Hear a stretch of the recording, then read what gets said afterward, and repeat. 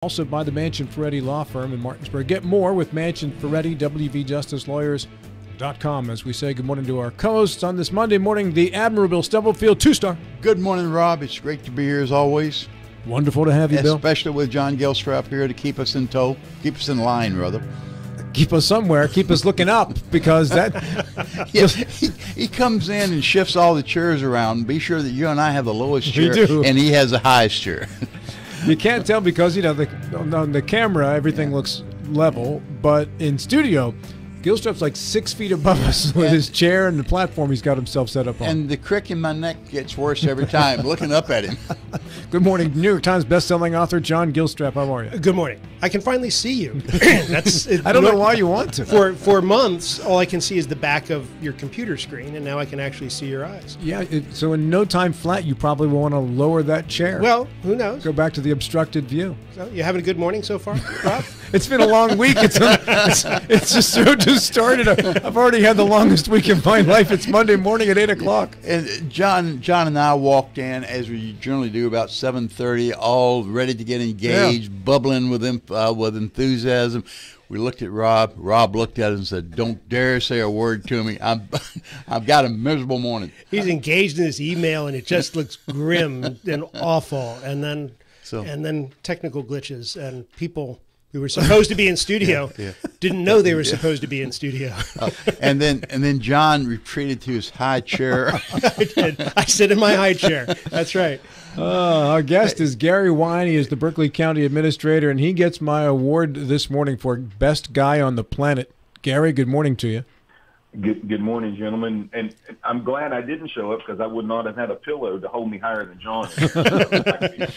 You'd need a crane right now to get you up higher than Gilstrap. Oh no, we got we got chairs here that, that will go. The, the the seat will actually be higher than the table if if you let the the pneumatic thing go all the way. Yeah, the hydraulic lift. And and before Rob stole my thunder or uh, stole my fun, I was going to accuse you, Gary, of not wanting to put up with the pressure of being in studio and taking the easy way out. But in reality, it was not you; it was our host. As time goes by, it's become much uh, apparent to me that this show is way too important to let an idiot like me be in charge of it.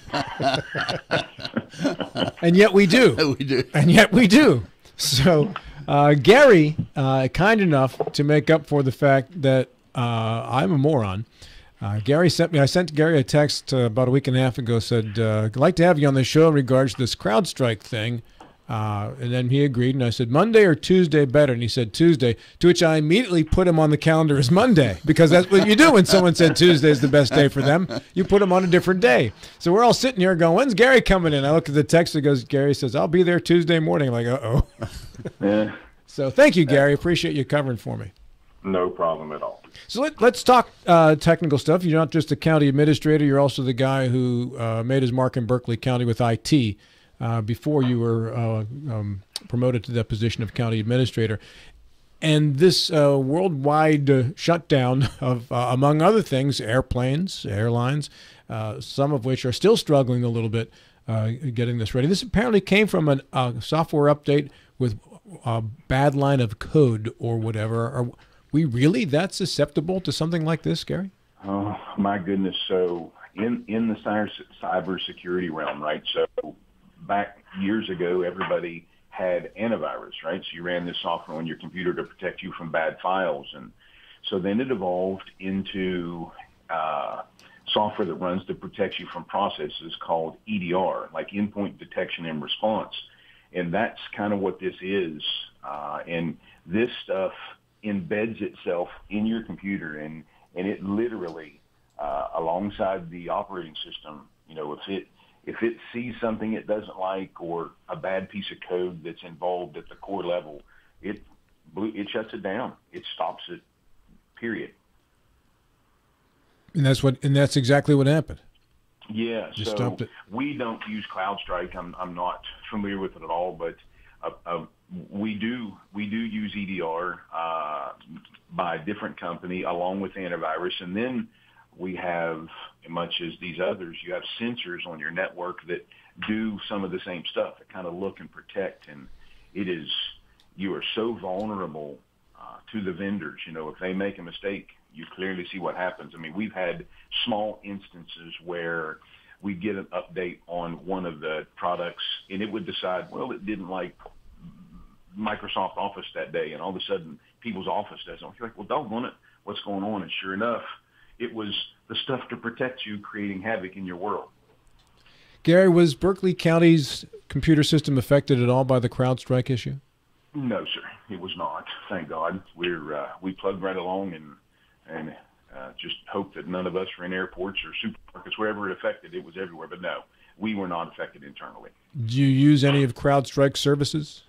We don't. We don't. We use those products we use are from uh, we use a Forta Forta product called uh, their FortiEDR and antivirus. We still use a product, uh, the Symantec product that has evolved. So kind of different ones there. Gary, you've used the term EDR a couple of times. What does that mean? So endpoint detection and response. Um, historically, I mentioned earlier, you know, you had antivirus and it looked at files on your computer to protect you. Uh, EDR is more of a process oriented, so it actually looks at what's going on and pays attention. So it can it can inhibit processes, uh, actually programs from running, and not just physical files. Yeah, we CloudStrike, as uh, as Rob mentioned, hit a lot of different sources, uh, a lot of different uh, businesses, including the airlines. I was struck by the fact, though, that most airlines came back online within a, a couple of so days. Delta did not. Do you have any idea why? What what made Delta unique? I, I do not, and I promise you that that information won't be shared uh, for a while. Uh, who knows, Mr. Stubblefield? It could it could have been anything uh, in any way. You know, the configurations and how they were leveraging it, and what what levels that they were operating with it. It, it would be a guess, and you and I both know it's you, you don't want to guess in those scenarios. Yeah, going back to the county, uh, I guess two questions. But the first question is: uh, the county government and board of education are they still are they paired on protective mechanisms?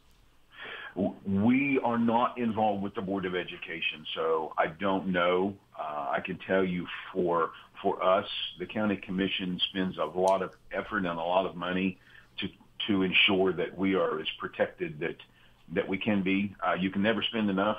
You know, it in truly, I think the the statement is it. You know, it's not if it's when you get compromised and how quick your remediation strategy and your your get back strategy you know is. That's that's really the big play, right? So.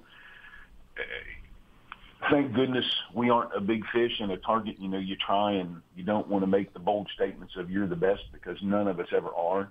Uh, but you have to be prepared for when it happens because inevitably it's not just for money. I mean, they do it just to disrupt. Um, you know, you've seen, I think, recently the school district as well as Hagerstown, the county, uh, Washington County, they were compromised.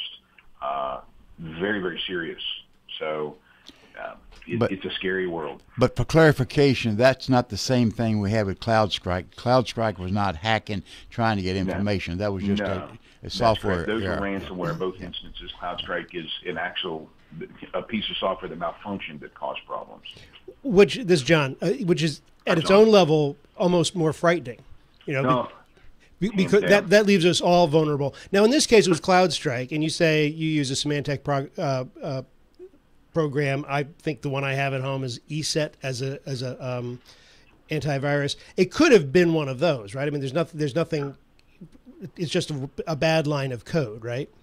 Yeah, and it depends on on what you know what piece of software. Um, you know, you've seen now uh, those particular softwares. They make like a, a personal firewall that runs. You know, they make um, you know all of them do, be it Kaspersky, McAfee, it doesn't matter. They all provide this stuff, so they can malfunction in any instance. And you're like, well, I can't get on the internet. Well, there's nothing wrong with your internet. This stuff had an issue, uh, but the scenario, as I understand it, with CloudStrike, you know, it was at the operating system level. So these computers were seeing, you know, the what in in the IT world, the blue screen of death, where the computers would not even boot; they were just non-functional. So at the private level, individual level, when something like this were to happen, what is what do we do? We don't have an IT department, so is a smart level just to kind of let it sit there and there'll be an automatic update that will take care of it? No, in this instance, as, as I understand it, they no. It would take someone physically operating with it uh, to to actually bring it back to normal. It it wasn't waiting for an update. It wasn't functional at all. The computer just stopped thinking. So at home, uh, you would need a tech. I mean, this is one of those things. If it were to happen, that you weren't going to recover from by yourself. So this particular incident was uh, targeted toward Apple products uh, or the the, the PCs. Uh, are the Apple products also vulnerable? so you're right. In this instance, it was targeted toward Microsoft Windows, not Apple. Uh, yes. Anything, Bill, that, that is connected to the internet, no matter how it's connected, is vulnerable. There's every from your phone, whether it's an Apple and Android, to your PC, it matters not. If if it's connected and it's taking an update from somewhere or something, then absolutely it's vulnerable. Well, you know, we and this is what gets so scary for a luddite like me. I I trust that the gremlins inside the computer know what they're doing. So you get these alerts that there's an update. All I need to do is restart my computer and everything will be fine. Or the alternative is I set it to reset. It's like three in the morning, and when I come in, it'll be it'll be all fixed. So we kind of roll in the dice every time one of these things comes through. Well, I don't know if you're rolling the dice, but there's actually risk. I mean, if you'll remember several years ago, Apple issued an update uh, to their iPhones. You know, like as you well know, it says, "Hey, your phone's got an update reboot," and all of a sudden, everybody's batteries started going dead slow. Well, it was a bug in their software that was doing something that was draining the batteries. So it can be as simple as that. Uh, but in in these instances, these are third-party apps that took updates to cause problems, right? So, um, I mean, I remember early on in the days when Microsoft was issuing updates to its Office platform, and you'd get an update and you you just sat there and held your breath when you put your update. Well, okay, what's Word going to do now, or so on and so forth. But they they've gotten really good. There's a whole lot. I mean, there, there's an entire field involved in just testing the platform before the updates are released. So checks and balances are there. But in, in the world of of cybersecurity and this antivirus or EDR or you know the the um, in the sensors that lay on your networks that kind of protect and watch what's going on. At any given time, those things could to wreak havoc, which you just saw. I was watching the History Channel the other day, and they had on the Battle of Okinawa, and it talked about how the Navy just bombarded that island for I think a month to soften it up before the troops went ashore. And I'm thinking, like the next war, Gary, the bombardment probably was going to be electronic, not necessarily Navy ships dropping bombs or firing firing shells. It seems like softening up a, a nation's defense now will be more done by software than it would be anything else from financing to power to water, everything is controlled. And in those worlds, you know, if it's connected, like I said, and, and everything is connected, right? Well, we need connectivity so we can see the, the, the, the gas transmission flow in a pipeline, or we need connectivity to monitor the electric on these lines, so on and so forth. Even though they're protected, uh, the, the connected world, and you're correct. I mean, you go at the finances of a country or you go at the utilities of a country, uh, you go at the government of a country, and you you absolutely positively can wreak havoc. Gary, we often look at something, a lesson learned from events such as this. But in this case, what happened was not out of the realm of possibility. Uh, it was a mistake. Uh, so, can there be a lesson learned in this situation? well, I, am sure the, processes and protocols in, in the application updates that these companies go through are unbelievably rigorous. This my this is probably and probably is human error somewhere, right? So, you know, the new processes with AI that that kind of help at least advise against these kinds of mistakes. But uh, I don't know what you would do, Bill. Um, more than they do now. Clearly, they they will have changed some process, but I think stuff like this happens all the time, just not at this level. Are most ransomware attacks, Gary, enabled because somebody opens up an email and clicks a link?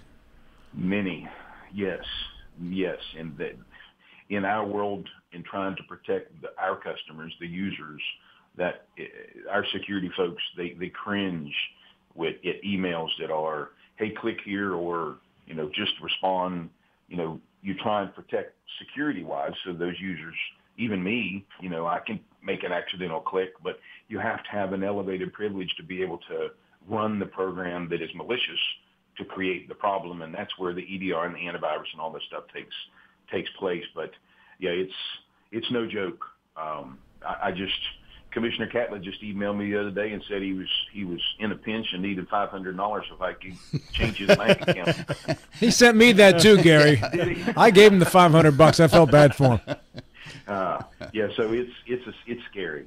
Uh, you just you just need to be cautious, and if it doesn't make sense, you know, if there's any question about it, you know, reach out and have a conversation. Stay, don't reply. Uh, use another means and say, hey, I got this weird thing from you. It did, it did help that it came from uh, lazy blue eyed blonde at gmail.com. I kind of knew it wasn't him, but anyway, uh, I, it's, it's, it's dangerous. Another question for you. I, this kind of thing scares me just because of what I do. I mean, the, the terror of getting – you know almost to the end of a manuscript and then having somebody hold it ransom is is kind of scary. So I don't save anything to my computer. I always send something, put it to an outside drive, like a thumb drive or something else. Does that kind of protect it? Does that keep it from getting snatched up? The fact that no, it's not physically on the it, computer. It, it does not. It does not. The second that the second that it touches the computer where the the malware would be, it, it doesn't matter that it's on that. If that computer can touch it, and has the rights to actually change it, John, then it no, it matters not. And one of the one of the biggest scares for a large enterprise or a large industry is you know is your your backups, right? Your the place where you keep things safe. And now these people have gotten so good where they can actually, you know, you call it air gap, where you separate it and it comes away. Is you try and protect that. Uh, they've got methods now where they bury timed explosions into these areas where you've got them backed up and the next time they get power or the next time you connect it to your computer, it locks it up. Well, that wasn't a very nice answer. yeah. Hey, yeah. Gary, let me shift gears quickly. Uh, understand last Thursday you had kind of a unique visitor at the county council. Last Thursday we did. Yeah. We did. We had Rhea uh, the oh, Sunshine, Sunshine, the, the new the new animal assigned to Judge Redding, and she's a wonderful dog, and she uh, she she's a blessing in the courtroom. While I'm not there much, you well can imagine some of the things that young folks are involved in, and they go in there and seeing and speaking of things that may have happened or may not, and they got this nice little labra uh, lab poodle mix, and she's a sweetheart. You think one of your dogs could serve the same purpose, Gary? well, you know, if Titus were still a real, Bill, I'm not sure he would have worked. But Nash, he doesn't care. He'd have done it, no problem. yeah. Big dogs, big dogs. You know, one of the big concerns we've talked about on the show before, some of these deep fakes that that, that are happening with uh, with artificial intelligence. Right. I, uh, last night on Netflix, I, I, watched a show. It's called Dirty Pop, which is uh, about Lou Pearlman, who built the boy bands in, in the '90s and then ultimately mm-hmm. died in prison because of, of uh, uh, Ponzi scheme issues. The narrator for this is Lou Pearlman, who's dead. But what they've done is they've animated. There, there's a video of him from. God, he shot a lot of videos of of himself, but they've taken the words from his book and through. AI they've got this video of him speaking his words from his book in his voice as if he's narrating this video. And it's enormously convincing that he's doing. Now, they own up to it in, in the credits that this is what they're doing. But if they didn't own up to it, it you wouldn't know. Uh, and that's, that's really scary. It is. It is. In, in, in the you know, in the, the national election forums and all of the stuff you get, you know, you used to think conversation was, you know, was the, the tell all beat all. You should get them on the phone to talk to them. And now, I mean, you could get a personalized message and it sounds just like my dad who's been going for multi years. That's crazy, John. I, it, it makes me scratch my head. Gary, last couple of minutes here. Let's talk about the county finances. Uh, you're in a new government year now, correct? We are. We started the new fiscal year July 1. All right. And looking forward over the next 12 months, what do you make of your financial situation? Uh, the the county commission, Rob, is it continues to do a great job being frugal and prudent with their expenses. We we net we landed the year with a uh, about a 4.2 million dollar uh, residual left over from last year. The commission applied three of that to open construction projects so we can finish up. We've got an expansion for a new judge. Uh, we're finishing up the Dunn building and the Day Report Center. So we had about eight hundred and forty thousand uh, dollars that they put into their contingency contingency account. Gary, is, is any of that an unfunded mandate uh, placed on the county by the state? It, it was um, it, a million dollars of it to do a, an expansion for a new circuit judge and to do a little bit of remodeling for a magistrate. Um, the court said, "Hey, you're getting these three new judges January 1, 2025. Get ready for them." With without financial support. One one hundred percent without financial support, all on the backs of the county commission. Now that's two magistrates in one circuit. Is that right, Gary? No, sir. That's a circuit, a magistrate, and a family court judge. Okay. I thought that judicial positions were funded out of the court budget from the state Supreme Court, and uh, I guess this is not the case. Their salaries, they're paid from the Supreme Court. However, their accommodations uh, the the 150,000 square foot judicial center uh, minus the the circuit clerk and the prosecuting attorney, those are all state employees there. The county commission pays for all of it. When do you anticipate you'll start work? Is it the Crawford building or the Berkeley building?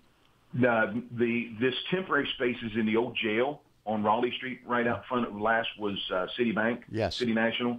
Uh, that's where the temporary courtroom space for the new judge will be. And then sometime in 2028, 29, or 2030, uh, I, I wholly believe that the county commission will embark on the $20 million upgrade to the Crawford building. Crawford. And what? then that will that will be the permanent space for the, the magistrates. Okay, that was my next question. So you answered that. Nice. Uh, of the surplus money that you had, did any of that get committed to a rainy day fund, Gary? So 800, about 840,000 was put in contingency, Rob, and I wholeheartedly believe that the commission will move some of that to the rainy day fund uh, once we get into the, the fiscal year. Just let things move a little bit. All right, very good. Uh, any final questions for Gary from the rest of the panel here, including those of you elevated to a higher position? I already made John mad. He doesn't. He, you know, we, we, we scared him. He's going to disconnect completely. Well, I'm just trying to figure out what the options are. I guess there are none. Yeah, Typewriter. Yeah, yeah honestly. Yeah, Gary, thanks so much for your time this morning. I greatly appreciate it, and uh, you have my nomination for Greatest Guy at the Year award. Welcome. Have a great day, gentlemen. Thanks, Gary. Always good talking. Can't tell you how much I appreciate that. 8:30 and our uh, break with Financial Phil on the way next. Coming